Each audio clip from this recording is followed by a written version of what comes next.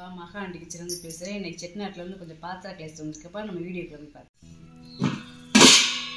இது வந்து two in one பாத்திரம்ப்பா.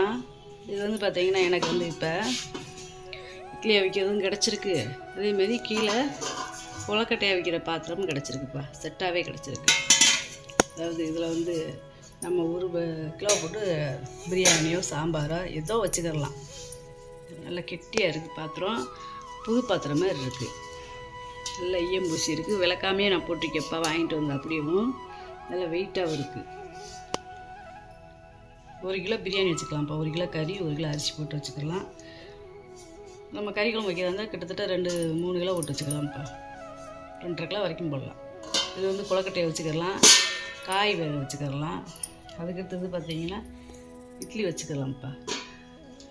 Two in one பாத்திரமாகவே கிடச்சிருக்கு. இதான் மூடியெல்லாம் நல்லா கண்டிஷன் நல்லா இருக்குது அப்படியே புதுசு பிளங்காமல் இருக்கு பாருங்க. அப்படியே கிச்சன் உட்காருது பாருங்க. இந்த மாதிரி கிடைக்கிறது கொஞ்சம் ரேர் இது பார்த்தீங்கன்னா பருப்பு உருளிப்பா நல்ல பெரிய சைஸ் உருளி. நல்லா குண்டாக இருக்கு பாருங்க. நல்லா பூசணிக்காய் மாடலில். நல்லா உருண்டையாக இருக்குது வெயிட்டாக இருக்குது நல்லா கனமாக இருக்குது அதோடைய திக்னஸை பாருங்களேன். எவ்வளோ திக்னஸில் செஞ்சுருக்காங்கன்னு. நல்ல ஒரிஜினலுப்பா ஹெல்மெட்டில் பருப்பு உருளி நான் அடித்து காட்டுறேன் பாருங்கள்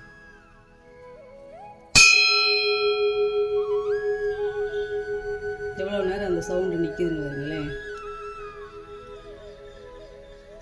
இதில் அதே மாதிரி நான்வெஜ் சமைக்கிறதா இருந்தாலும் சமைச்சிக்கலாம். இல்லை நம்ம சாதம் பருப்பு குழம்பு எது வேணாலும் வச்சுக்கலாம்ப்பா. நல்ல பெரிய சட்டிப்பா.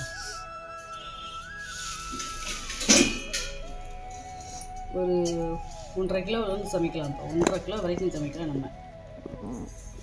இது அதே மாதிரி ரெண்டு லிட்டர் பருப்பு இல்லைப்பா இது வந்து என்னன்னு பார்த்தீங்கன்னா நம்ம வெங்கலத்தை உருக்கி ஊற்றையில் இந்த ஓட்டை வழியாத்தையும் ஊற்றுவாங்க களிமண்ணில் அந்த காலத்தில் களிமண்ணில் தான் டை செய்வாங்க. டை செஞ்சு இதுக்குள்ள ஒரு ஓட்டை போட்டு தான் உருக்கி ஊற்றுவாங்க ரெண்டாவது இந்த கேப்பை வந்து வெங்கலத்தை வச்சு அடைச்சிடுவாங்க இந்த பக்கம் இருக்காது பாருங்க.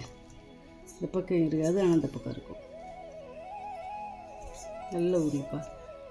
போட்டு நம்பர் பிளேட் போட்டிருக்காங்க பாருங்க. நல்லா இருக்குது நல்ல பழைய காலத்து பருப்பு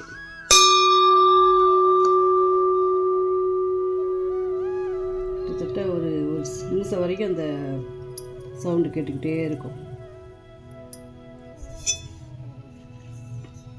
இது அதே மாதிரிப்பா. இல்லைன்னா ஒரு ஒன்றரை ஒன்றரை லிட்டர் பிடிக்கும்ப்பா கருப்பூர்லி இது பாலிஷ் பண்ணியிருக்கேன். ரொம்ப கருப்பாக இருந்துச்சு. இதுக்கு வந்து பாலிஷ் பண்ணியாச்சுப்பா.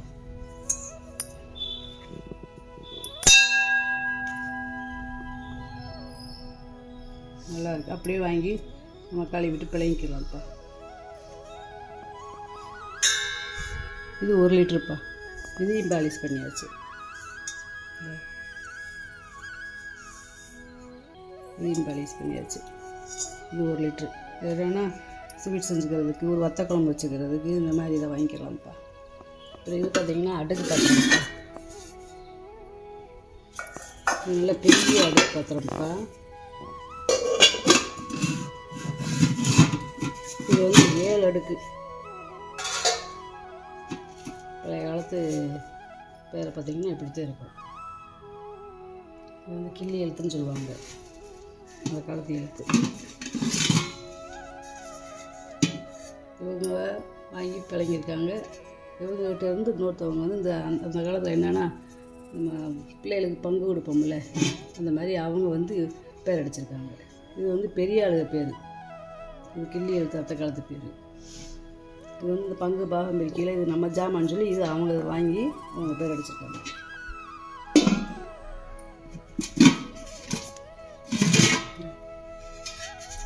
உங்களை மாவாட்டி வச்சுக்கலாம் உங்களை சாதம் வச்சுக்கலாம் உங்களை பொங்கல் வச்சுக்கலாம். இதெல்லாம் நல்ல பெரிய பெரிய பாத்திரம் இருக்கும் இது அஞ்சு லிட்டர் பிடிக்கும்ப்பா. ஆறு லிட்டர் பிடிக்குது. இது அஞ்சு லிட்டர் பிடிக்கும்ப்பா நாலு லிட்டர் பிடிக்கும். இது மூன்றரை லிட்டர் பிடிக்கும். இது மூணு லிட்டர் பிடிக்கும். இது ரெண்டு லிட்டர் பிடிக்கும். இது ஒன்றரை லிட்டர் கொஞ்சம் கொஞ்சம் கம்மியாகும். வித்தியாசம் இது வந்து பார்த்திங்கன்னா பழைய வெண்கல பூஜாப்பா இதெல்லாம் பாலிஷ் ஒருத்தவங்க பூஜாலாம் அப்படியே கேட்குறாங்க ஆன்டி பீஸாகவே சேகரிக்கிறவங்க எல்லாம் அப்படியே கேட்குறாங்க அதனால் பாலிஷ் பண்ணாமே போட்டாச்சுப்பா இது வெங்காய டம்ளர்ப்பா பாதத்துக்கு டம்ளர் கூட பாதம் வச்சுருக்காங்க பாருங்க. வெங்காய டம்ளர் உள்ளே நல்லா இருக்குப்பா. கொஞ்சம் ஜேர்னு. பாலிஷ் பண்ணல. நீங்கள் பாலிஷ் பண்ணி தச்சுனீங்க நான் பாலிஷ் பண்ணி கொடுத்துருவேப்பா அதே மாதிரி அடுக்கு பாத்திரம் பாலிஷ் பண்ணேன்னு சொன்னீங்கன்னா பாலிஷ் பண்ணிடலாம். ஆனால் கண்டிஷன் நல்லா இருக்குது விளக்குனோம்னா அந்த கருப்பு போயிடும் விளக்காதனால கொஞ்சம் கருப்பாக இருக்குது இது பார்த்தீங்கன்னா ஃப்ரை பேன்ப்பா நல்லா குழியாக இருக்குது அதாவது வடைச்சட்டி மாதிரி நல்லா இருக்குது முதல் வந்தது ஏந்தலாக இருந்துச்சு. இது நல்லா குழியாக இருக்குது நம்ம இப்படி வச்சா சாயுதுன்னு நம்ம நினைக்கிறோம். ஆனால் இதில் வந்து வெயிட் ஏதாவது நம்ம தண்ணி காய் குழம்பு எல்லாம் இதை வச்சிட்டோம்னா அப்படி நின்று ஒரு அடுப்பில். சாயாது. வேணும்னா இதில் நம்ம குச்சி வச்சு குச்சி மாட்டிக்கலாம். இல்லை அப்படின்னா நம்ம கறி தண்ணி வச்சே நம்ம சமைச்சிக்கலாம்ப்பா இப்போ ஃப்ரைட் ரைஸ் கிட்டுறதுக்கு முட்டை கிட்ட வறுக்கிறதுக்குலாம் இது நல்லா இருக்கும். இது நம்ம என்ன பண்ணிக்கலாம். இப்போ இது வந்து பார்த்திங்கன்னா ஒரு வட்டை பாத்திரம்ப்பா. நல்லா வெயிட்டாக இருக்குது அதாவது பருப்பு உரிமை நல்லா கனமாக இருக்குது பார்த்தீங்கனாலே தெரியும் உங்களுக்கு. நல்ல கனம். இல்லை உள்ளே ஈயம் பிசிருக்காங்க இதைத்தையும் பாலிஷ் பண்ணியாச்சு. ரொம்ப கருப்பாக இருந்ததுனால ஆனால் பாத்திரம் நல்லா கனமான பாத்திரம்ப்பா இதில் நம்ம குழம்பு சாம்பார் சாதமே நம்ம சமைச்சிக்கிறலாம்ப்பா இல்லை கெட்டியாக இருக்குது பாத்திரம் கெட்டியாக இருக்குது அடி பிடிக்காது.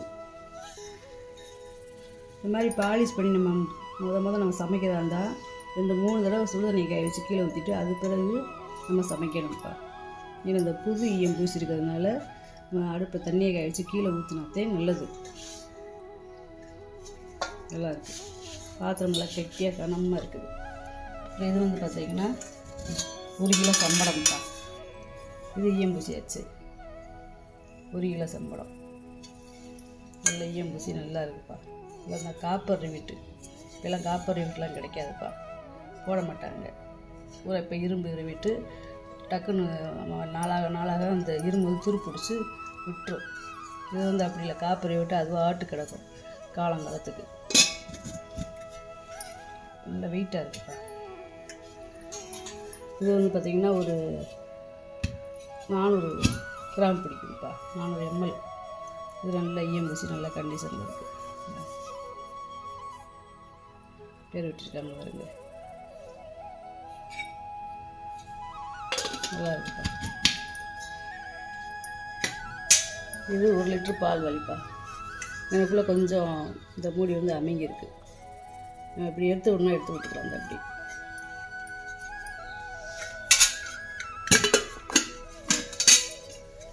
இது நல்லா உள்ள பூசியிருக்குப்பா இருக்குப்பா நல்லா பாலிஷ் பண்ணியாச்சு.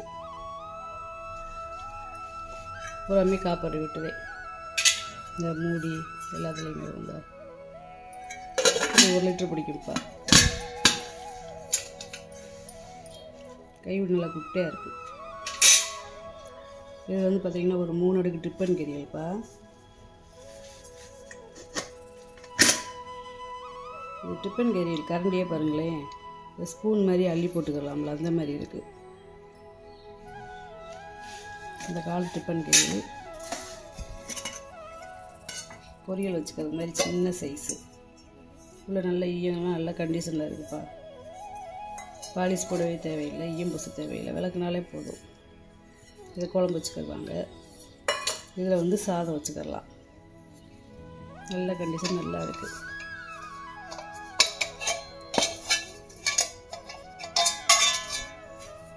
நல்லா கனமாக போட்டிருக்காங்க.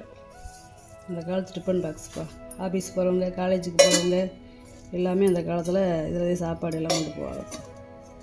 மூணு அடிக்கு டிஃபன் கேட்கல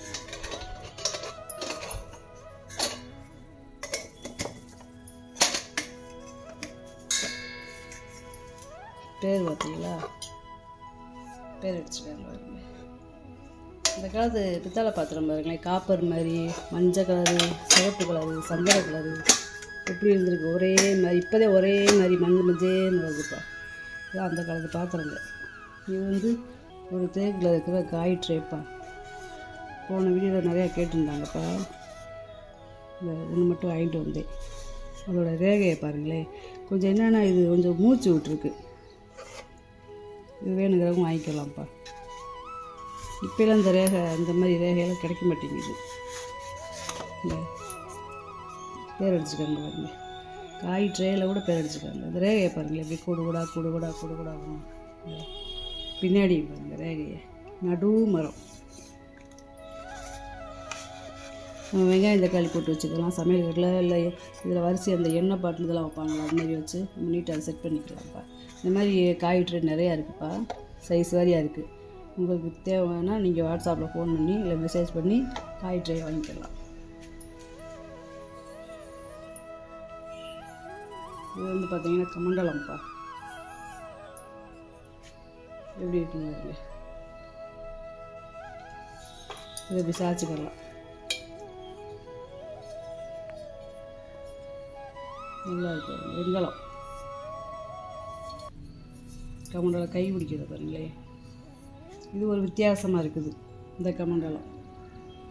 இந்த இந்த கமண்டலம் வந்து ஒரு வித்தியாசமான கமண்டலமாக இருக்குது நல்லா இருக்குது பார்க்குறதுக்கே. இது நம்ம வாங்கினோம்னா பூஜை அறைக்கு வந்து நம்ம சாமிக்கு அபிஷேகம் பண்ணுற அந்த வைக்கிற வந்து அதை வச்சுக்கலாம்ப்பா இப்படி.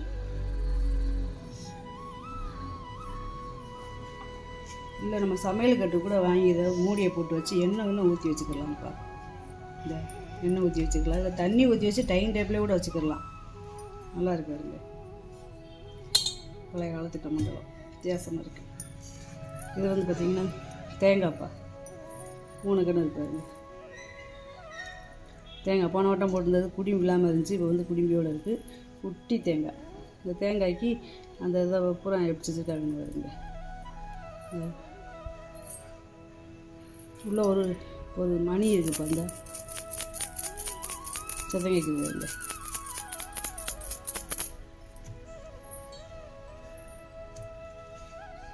இது வந்து பார்த்தீங்கன்னா கருங்காலி படிப்பா. இப்போலாம் கிடைக்கவே மாட்டேங்குது. கருங்காலி படி ரொம்ப ரேர் ஆகி போச்சுப்பா. அதனால் ரொம்ப நாள் கழிச்சு ஒன்று கிடச்சிருக்கு. இதை ஒன்று வாங்கி போட்டிருக்கேன். இது வந்து காப்படிப்பா. அரை கிலோ பிடிக்கிற படி. நல்ல கருங்காலி. நடு மரம். அதாவது கையிலே உங்களுக்கு இது செதுக்கியிருக்காங்க. மிஷின் கையெல்லாம் செதுக்கலாம் அந்த கையில் செதுக்குனதே உங்களுக்கு தெரியுது பாருங்க. இந்த இது வந்து கை வேலைப்படுத்தேப்பா இப்படி புளியை வச்சு இப்படி செதுக்குவாங்க. நடு மரம். தெரியுது பார்த்தீங்களா ரேகை விடுது பாருங்க. நல்லா கருங்கல் படி அரை கிலோ பிடிக்கிறது. இது வந்து ஒரு யானைப்பா. இது என்ன மரம்னு தெரில பெயிண்ட் எடுத்துருக்காங்க அதுக்கு இந்த எனக்குள்ளே கொஞ்சம் கால் வந்து லேசாக கொஞ்சம் இதாக இருக்குப்பா கால் கொஞ்சம் லேசாக இதாக இருக்குது என்ன மரம்னு தெரியல. அப்புறம் இந்த வால் பகுதி பார்த்திங்கன்னா லேசாக பிஞ்சிருக்கு. இது எந்த காலத்து மரம்னே தெரில ஆனால் ஒரே மரம் நல்லா கொடைஞ்சு ஒரே மரத்தில் நல்லா கொடைஞ்சு நல்ல வேலைப்படுப்பா பட்டத்தியானன்னு சொல்லுவாங்கல்ல. அந்த அந்த டிசைனில் செஞ்சுருக்காங்கப்பா. கீழே வந்து இந்த தோரணம் அந்த கிட்டு வால் பகுதி. போன வீடியோவில் வந்து ஒரு வெள்ளி செயின் போட்டது மாதிரி நான் ஒரு வீடியோவில் போட்டிருந்தேன். அது நல்லா சேல்ஸ் ஆயிடுச்சு. அதே மாதிரி கேட்டிருந்தாங்க. அதே மாதிரி ஒன்று வாங்கிட்டு வந்துருக்க பாருங்க. எத்தனை இதெல்லாம் கை வேலை படுப்பா கையிலே இந்த உளியை வச்சு அப்படியே கொஞ்சம் கொஞ்சமாக கொஞ்சமாக செதுக்கியிருக்காங்க. இந்த காது இந்த தும்பிச்சாங்க இந்த கண்ணெல்லாம் பாருங்கள் அப்படியே நேச்சுரலாகவே இருக்குது பாருங்க. இந்த வாய்ப்பகுதி எல்லாமே நேச்சுரலாகவே இருக்குது பூராமே இது வந்து கையிலே உட்காந்து செய்கிறாங்க. ஒரே மரம்ப்பா. இப்போ நான் வாங்கிட்டு வந்த பொருளெல்லாம் வீடியோவில் போட்டு காமிச்சிட்டேப்பா இதில் ஏதாவது பொருள் உங்களுக்கு தேவைப்பட்டுச்சுன்னா ஸ்கிரீனில் தெரிய நம்பருக்கு வாட்ஸ்அப் பண்ணுங்கள் ஃபோன் பண்ணுங்கள் மெசேஜ் பண்ணுங்கள் இந்த வீடியோ உங்களுக்கு பிடிச்சிருக்குன்னா எனக்கு சப்ஸ்கிரைப் பண்ணுங்கள் சப்போர்ட் பண்ணுங்கப்பா லைக் பண்ணுங்கப்பா. இன்னொரு வீடியோ நம்ம பார்க்கலாம்ப்பா.